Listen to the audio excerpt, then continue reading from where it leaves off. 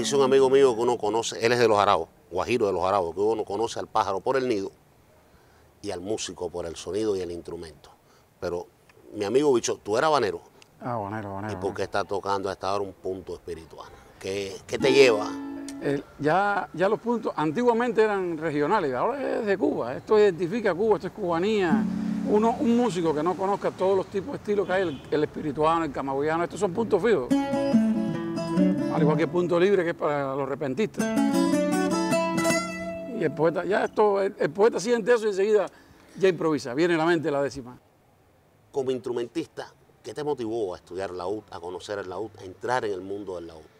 Ya. A mí, me, bueno, me crié en un ambiente de décima y música campesina. A mi casa venía Chanito